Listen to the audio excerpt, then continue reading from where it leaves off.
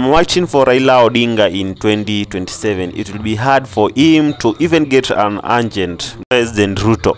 Mtazamaji, kama vile unaona hapo kwa screen, gavana wa kaunti ya Makueni Mutula Kilonzo Junior hapo awali alikuwa amezungumza na kusema kwamba itakuwa rahisi sana kwa Raila Amolo Odinga kumshinda William Samoei Ruto mwaka wa 2027, lakini pia kama vile unaona hapo kwa screen uh, Evans Gideru ambaye alikuwa former Nairobi governor alizungumza pia na akasema kwamba ikifikia mwaka wa 2027 ODM pate itakuwa imekufa na hakutakuwa na chama cha ODM na watu wote watakuwa wamejiunga na Kenya Kwanza na wale wengine watakuwa wameitengeneza chama kingine, lakini sio ODM party. Kwa hivyo sasa, hayo maneno ya Kideru na ya Mutula kelonzo Junior yanaonekana kwamba yameungwa mkono pia na Rais William Samoei Ruto. Amesema pia mwaka wa 2027 Raila Odinga atakuwa na agent hata mmoja ambaye atakuwa anaweza kumtumia, kwa sababu Raila Odinga